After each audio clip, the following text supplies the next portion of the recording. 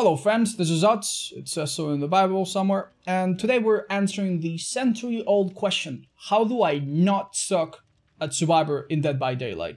How am I not a terrible teammate to my fellow survivors? More people should be asking themselves this question, if you ask me. Uh, I'm sure you've caught some of the memes, or maybe you've seen the video yesterday where I punched my webcam in rage because one of my teammates was absolutely, hopelessly useless and they had the temerity to suggest that, oh yeah, no, I was just doing my thing. It was very frustrating. Do I want this to happen again? Yes. When I play killer, it's great. When survivors do not follow these principles that I'm going to outline to you today, it's awesome for me. I can go play low tier killers with no add-ons and go on massive win streaks because at least one or two survivors in each lobby usually commits one of the sins that we're going to talk about today. So it's great for me. But I also understand that it's very frustrating, especially when I play Survivor or when I hear it from other people, just how sad it is to have a teammate that just doesn't do their part. And it's also it would also break my heart if you were the person doing this. So I'm gonna give some tips that might help you understand what you should be doing at any given time as a survivor, right? And the way we're gonna handle it is very easy. I'm gonna reverse engineer it from my point of view as a killer, right? What am I looking at as a killer? Let's assume that survivors have uh, five generators and they're right there, right? In each map, there is actually seven generators, but survivors only have to do five. In fact, it's their only objective. Healing, doing totems, opening chests, that's all very fancy. It does not, for the most part, help survivors at all. They need to do generators no matter what. That is unavoidable. So there's five generators. And we've got four survivors. And we're going to put one in each, all right? And let's assume that we're in a pretty in a pretty favorable situation for me as a killer, where I have caught Dwight in a bear trap or something, and I've put him on the hook. And now Meg is coming for Dwight. She's slowly coming around to help him off the hook.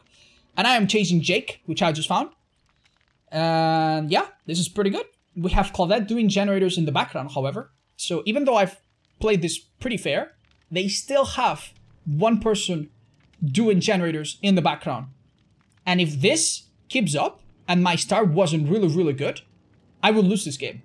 This is what you should be aiming as a survivor, by the way. This is your go-to strategy. At the start of the match, before the killer has everybody injured and on the ground and so on, do the equivalent of one or two generators across the map.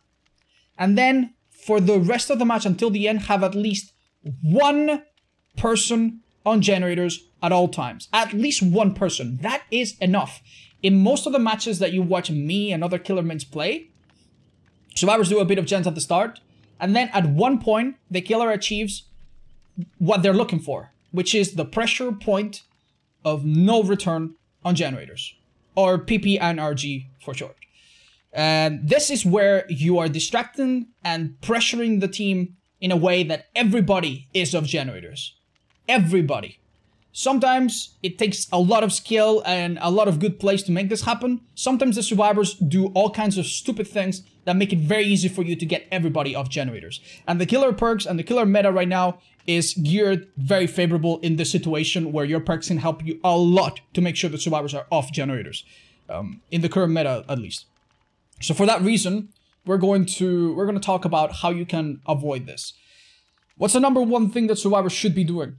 That what's the number one thing that survivors do that gets me close to losing my games or that actually makes me lose my games when I'm trying really hard to win? Number one, split up. Split up. You notice in the example before, I hook Dwight, Meg comes, uh, someone else gets chased, and there's still one person in the generator. That is really good. That's because everybody was in a different generator and everybody was in a different part of the map. If I hooked Dwight, but Meg was hiding in a corner next to him, and Jake was in the basement plundering chests, and Claudette was hiding because Punchy was going on and off in the distance. I don't I, I, I don't I don't even need to play well for the rest of the game. That that team is going to lose itself. At one point, if this keeps going, I'm going to kill one of the survivors. It might take me long, it might take me uh, relatively more or less time, but if they do not do generators, eventually one of them will die. If I have a Mori or if I tunnel someone very aggressively, that's going to happen even quicker. And when one person dies, let's assume it's Dwight that just kicks the bucket, bye Dwight, now the other three have a much harder task. Achieving the point of no return, the PP and RG, when there's three survivors, is extremely easy all I need to do is hook Meg or even slug her, leave her on the ground, then go for Jake, and now the other survivor will be forced to come for the rescue uh, of Meg. And that's it. That's it. I do that in three seconds, and now the entire team is of generators. This is a lost cause. This is what you're looking at as a killer. This is what you want to avoid as a survivor. So, splitting up, very important. Extremely important. You want to split up when doing generators. Don't forget that doing generators together gives you a slowdown unless you're running Prove Thyself. And also, for the most part, please try to split up when healing. Healing with a medkit is as efficient as uh, as healing uh, as fast as when someone else heals you, even if it's a brown medkit. It can be done one or two times depending on your add-ons and so on. Medkits are so powerful for this. You can have one person uh, rescue someone off a hook, go to the generator nearby, and that person of the hook go to a corner, heal themselves, and then jump on, uh, and then jump on another generator. Massive pressure on the killer. Doesn't doesn't matter if the killer down someone very quickly and immediately chases someone else. You will still have someone on a generator. If you're on a generator, do not let go of it unless you're certain that someone else is on another generator elsewhere.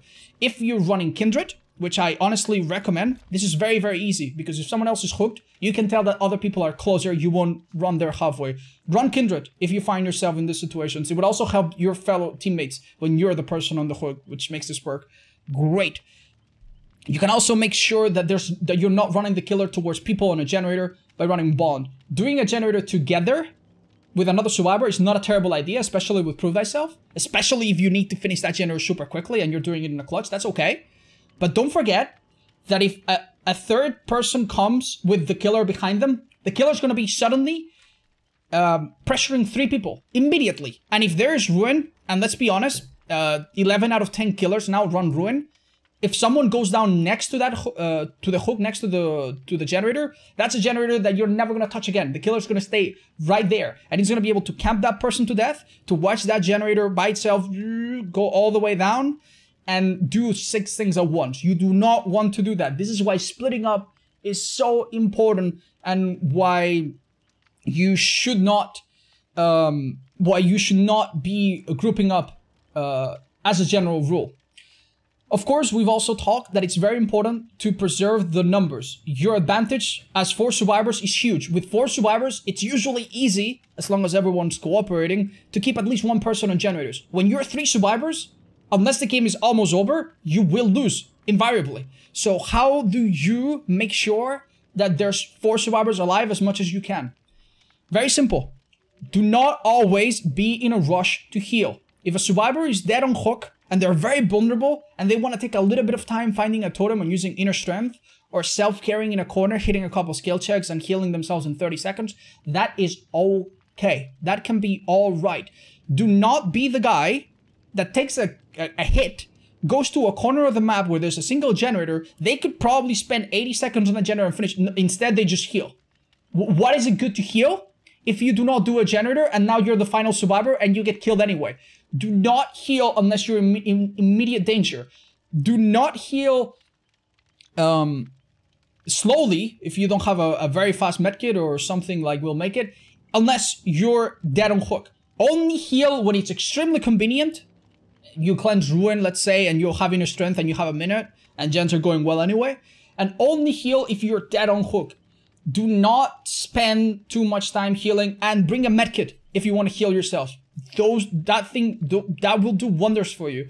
If your teammates have all been hooked several times and you haven't been hooked, now is the time to rescue one of them with a hook and then go go harass the killer and take the pressure off your teammates. Do not stealth around the entire map when the killer is busy elsewhere. And if your teammates are about to die and you haven't been hooked yet, the killer really has no reason to hook you. If what he what he wants to do is kill those people, and then if you're the last survivor, it doesn't matter if he's hooked you or not. You're gonna die regardless. That's the time when you want to take the killer for a few chases, drop a couple pallets, and do whatever. Do not forget that the current meta for killers is regression. Some killers will run corrupt, uh, which makes the first few gens blocked. It's a little bit trickier to, to spread out on those. Uh, what I say is use a, use a mixture of stealth, but also get to a generator. You do not want to run to the middle of the map, uh, face to face with the killer and go down in three seconds. Because if your teammates are being stealthy around the corrupted gens, you're gonna the killer's gonna have a great head start. He's gonna have a hook at the start, zero progress on gens. You don't want to do that. Uh, at the same time, you don't want to hide forever unless you're in a team that's super coordinated, tournament level uh, style.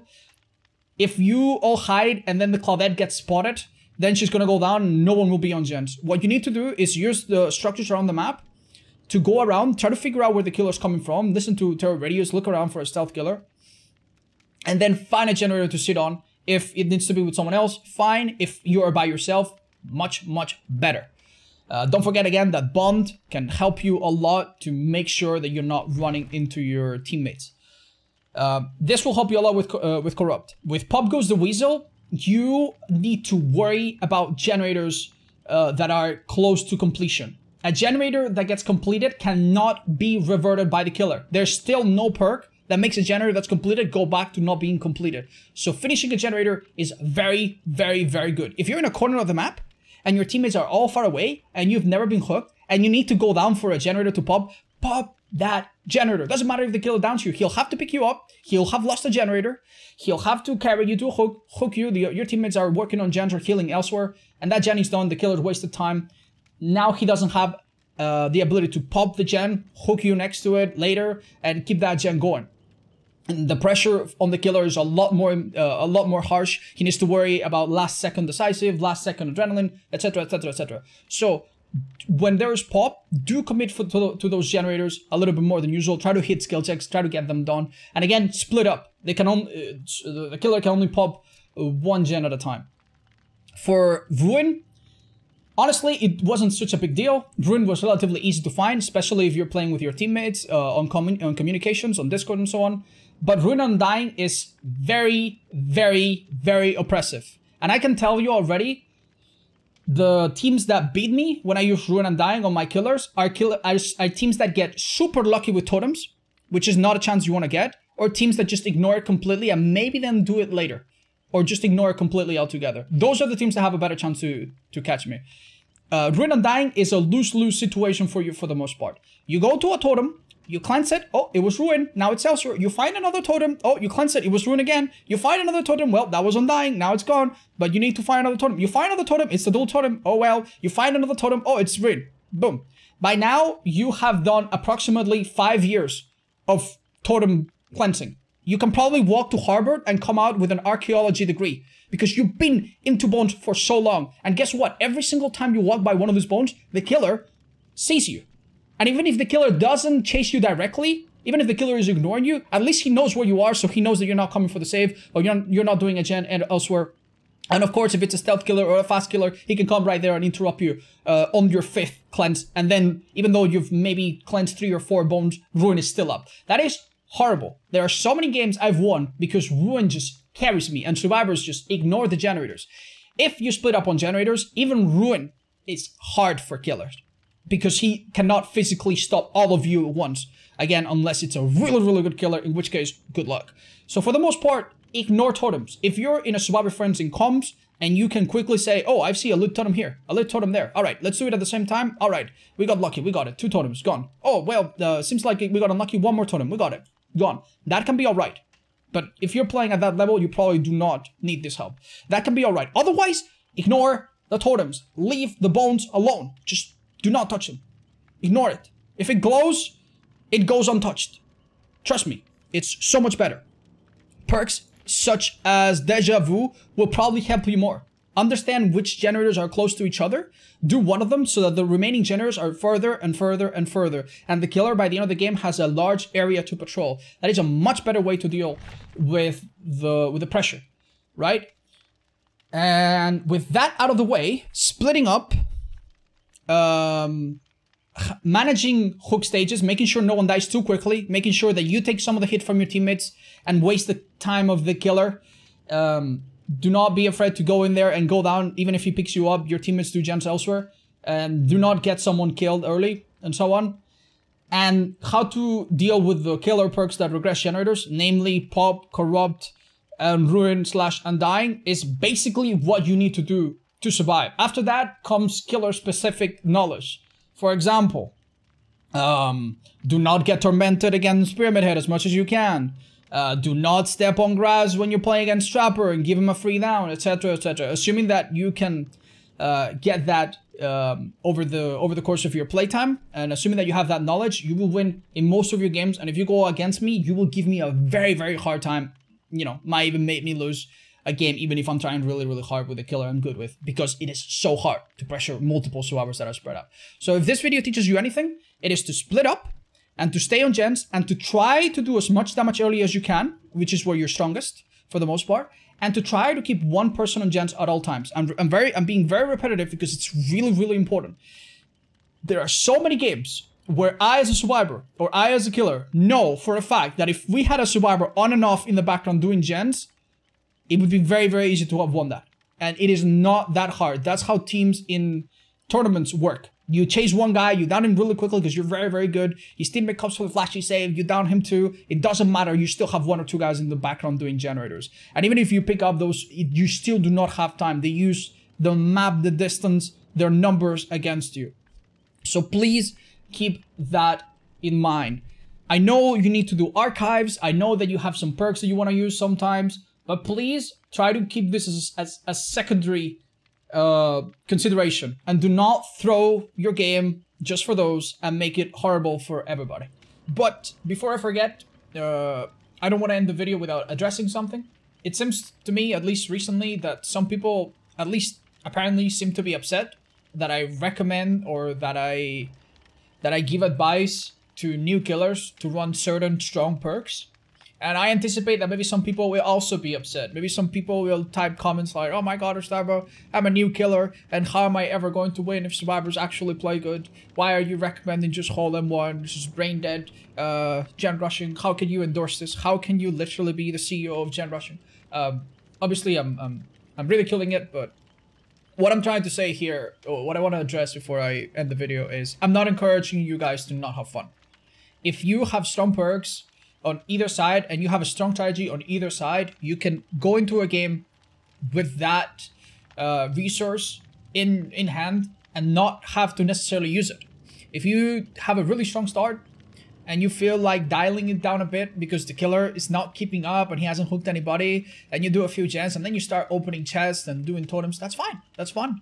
And if you have a very strong start as a killer and you hook a bunch of people and they all seem really almost dead, but then you want to take it a little bit back because they haven't done any gens and you want to start hooking all of them and giving them more of a chance to get into chase, that's also great. Just because you know what's the most effective thing available doesn't mean you need to sweat uh, your balls off and do it immediately uh, every single time. So please understand that I am just a slave to what the game dictates. If I tell you this is good or this is strong, you know, it's not that I particularly like it. I don't appreciate how survivors have three or four perks that are super solid meta and killers have three or four perks that are super solid meta and deviating from that is, you know, really not a great idea for the most part. I don't like that. I do look forward to, you know, some survivor perks being nerfed, many of them being buffed, and you know, Ruin Undying perhaps being changed so that actually looking for the totems is a viable strategy, and then you can use all kinds of like perks and tools to find totems. I do look forward to that, so please uh, don't take it the wrong way.